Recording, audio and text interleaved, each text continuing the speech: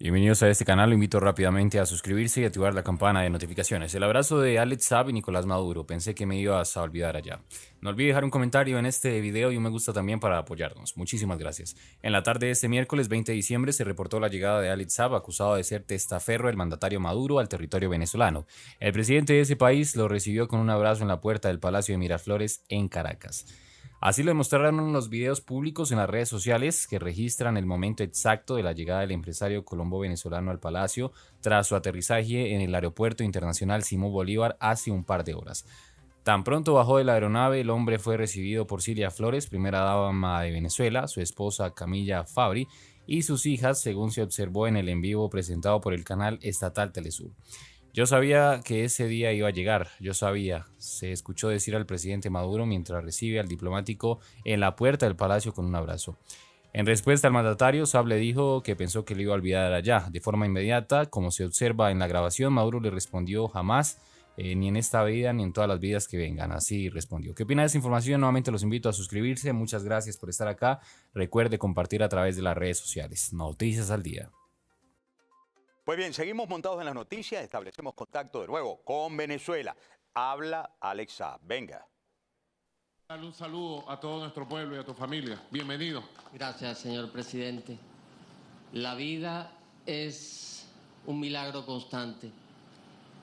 Y hoy el milagro de la libertad, el milagro de la justicia, se ha hecho realidad gracias a usted, señor presidente, por su perseverancia.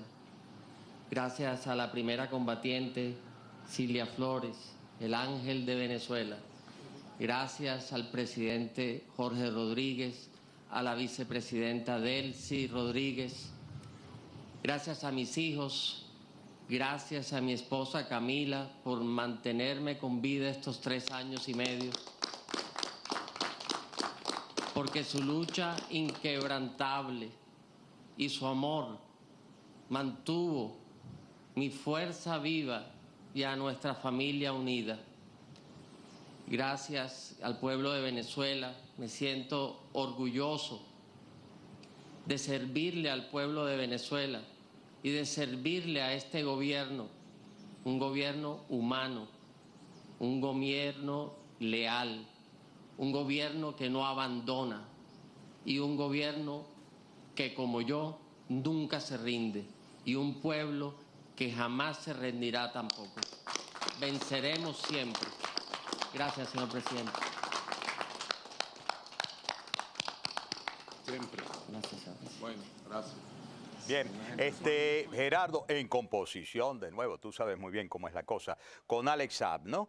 Recuerden ustedes este hombre que del cual se dice manejó de entre 8 mil a 10 mil millones de dólares, del cual con sobrada este, argumentación se dice eh, le reconocen y le agradecen a la familia presidencial dictatorial de Venezuela el ser el arquitecto más importante de todas las estructuras financieras dentro y fuera del país para eh, burlar los controles, si es que los hubo, eh, de los dineros mal habidos, de el cómo han amasado fortunas incalculables. Recuerden nada más el caso de Tarek El Aizami, quien fue uno de los primeros grandes amigos de Alex Saab cuando llegó hace muchos años a Venezuela. Les unió la causa palestina, la afinidad con la causa palestina, cuando llegó Alex Saab de las manos de Piedad Córdoba. Recuerdan ustedes, la senadora revolucionaria de eh, los tiempos eh, de Hugo Chávez, la que fue siempre vínculo con las narcoguerrillas, actuación que también está en el prontuario de Alex Saab, su vinculación con las narcoguerrillas,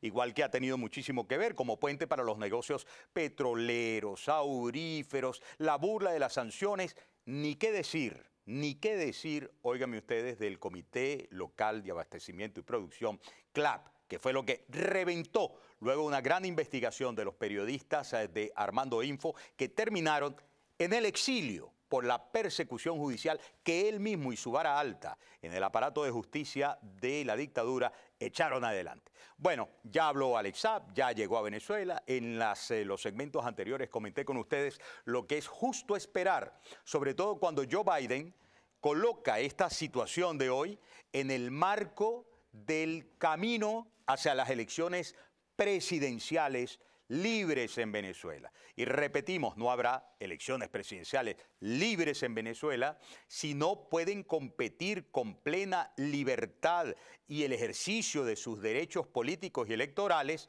todos los que escogieron a una candidatura unitaria y la candidatura eh, unitaria, es decir, estoy hablando de María Corina Machado. Seguimos allí entonces, pendientes de todo cuanto vaya ocurriendo y vamos a darle la bienvenida de inmediato a nuestros próximos invitados, gente de esta casa, amigos queridos de esta casa, los hombres de la calle 8 y mucho más, ¿no? Comisionado Joe Carollo, bienvenido, un fuerte abrazo. ¿ah? Muchas gracias, pero he quedado impresionado pero yo antes que me, diga por qué la impresión, no vamos a dejar sin darle la bienvenida a la señora. ¿Usted quiere un problema en la casa hoy? Claro que no. No, ¿verdad? No juegue. Nuestra querida Marjorie Carollo. ¿Cómo está, Miguel Bienvenidos los dos, bienvenidos los dos. Muchachos, gracias, de verdad. Eh, hombre, grandes aliados de EBTV. Dígame, impresionante, ¿no? De ver tantos malandros juntos eh, y hablar de humanidad. Eh, la humanidad que han dado es más de 7 millones de venezolanos que han tenido que irse de Venezuela y tener una gran mayoría del país encarcelado, eh, porque ahí los únicos que pueden vivir es el grupito de ellos. Eh, la humanidad de la que están hablando, me imagino, es la cocaína medicinal, que la gran parte de la cocaína que llega a Europa y ahora a Estados Unidos viene de ellos. Estos son el régimen tan humanitario eh, de narcotraficantes, de asesinos, que no creen en nada, nada más que en ellos y vivir bien. Pero bueno, me imagino que otro de los más ricos, eh, que también tiene sus seis, siete o más miles de millones guardados, eh, le han dado un poco de esperanza en el día de hoy que quizá Estados Unidos le quite los cargos que él me acusa a mí que se le lanzaron por mí. Eh, Raúl Gorrín, eh, otro de los más descarados, de los más abusadores eh, que ha abusado de un pueblo en robarle su dinero, su libertad. No trajo sencillo usted. Pero por lo menos, por lo menos degenerado no se puede pasear como lo hacía antes eh, por todo Miami, teniendo la casa en Coco Plum, teniendo eh, apartamentos lujosos en Fisher Isle, en Nueva York, con el gran yate de más de 100 pies que parqueaba atrás de su casa en Coco Plum, Eloísa, el nombre de su esposa. Eh, ya no puede ni siquiera pagar la electricidad ni el teléfono en una casita en el barrio negro americano, afroamericano, en la peor parte de Nueva Orleans. Y no es porque tiene una querida, eh, como quizás su esposa pudo haber pensado. Es que era una casa, de lo que le llaman una casa segura, para la inteligencia venezolana y castrista que pagaba allá. Porque ¿quién iba a pensar que algún agente se iba a meter en un barrio como eso?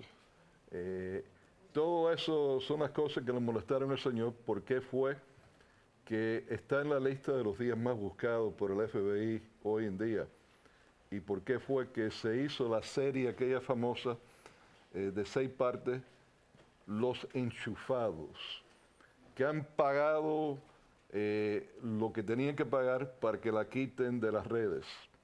Eh, estos son los humanitarios. Si me hubiera imaginado que usted se iba a traer ese cuento tan grueso, hubiéramos apartado por lo menos dos horas. Con lo cual, eh, eh, eh, además que le agradezco mucho porque me quedé escuchándole con mucha atención. Es un día bastante, este, digamos, contradictorio en cuanto a lo emocional se refiere para todos los venezolanos, porque nosotros obviamente no le vamos a sobredimensionar un triunfo, que así lo concibe Nicolás Maduro, la liberación de Alex Saab, el hombre que le sabe hasta el modo de caminar, hay que, hay que decirlo, ¿no? Pero obviamente bastante tiempo tuvo este, detenido y bastante información ha de haber soltado, amén del tiempo en que estuvo colaborando, usted lo recordará, ¿no? Con las agencias federales, ¿no? Bueno, yo te diría que el tiempo que le queda es corto. Tienen menos de un año a que cambie todo eh, y eso va a cambiar en las próximas elecciones presidenciales del año que viene. Ahí es que se le acaba la fiesta. Con el favor de Dios, con el favor de Dios. Y hay que presionar a todos los venezolanos dentro y fuera del país para que esto no quede solamente en un canje de fichas de, por un lado, eh, el hombre ligado a la máxima corrupción de la pareja dictatorial de Venezuela y por otro lado los que estaban secuestrados y los injustamente privados de libertad en Venezuela. Bien, bueno, qué gusto tenerlos aquí. Hablemos de cosas lindas. Gracias.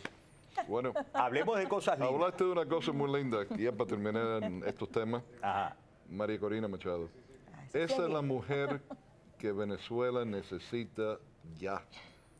Una mujer que tiene un corazón inmenso por su país, un coraje que muchos hombres quisieran tenerlo. Eh, y tarde o temprano, Dios la va a poner a dirigir y a llevar a una democracia y hacia adelante a Venezuela. Qué bueno, qué bueno. Mire, a quienes pille yo un poquito eh, eh, desituado sobre las personas que tenemos aquí invitadísimos especiales, amigos de BTV, Joe Carollo y su señora, a pantalla ellos dos, por favor, son los que están detrás, por los lados y de frente, y siendo la sangre y la energía de la gran celebración en la segunda semana de cada mes cada viernes en la calle 8, allá en la Plaza del Dominó, ¿ah? en eh, los viernes de la Pequeña Habana con sabor venezolano. Díganme una cosa, la verdad, ya, ya vamos a hablar contigo. Marjorie es venezolana, ¿no? Marjorie es venezolana. Los estoy dejando, a ver. Marjorie es venezolana. Pero a través de Marjorie, comisionado, ¿qué tanto amor de verdad, de verdad? por conocimiento además de lo que es la venezolanidad y por contacto a través de Marjorie, a través de su actividad ¿no? como comisionado, ha logrado desarrollar con los venezolanos. ¿Cuántos venezolanos ha conocido? ¿Cuánto conoce realmente y siente de lo que eh, estamos eh, atravesando los venezolanos? Bueno, lo, que te puedo decir es que a través de los años, viendo sus lágrimas, sufriendo por su gente, por su patria, por su pueblo, cuando años atrás estaban esos chamos en las calles venezolanas, peleando por la libertad, dando su sangre, dejándolo en las calles, algunos dejando sus vidas, y miles que esos malandros se lo llevaran preso para acabar con ellos en las cárceles. Eh, aprendí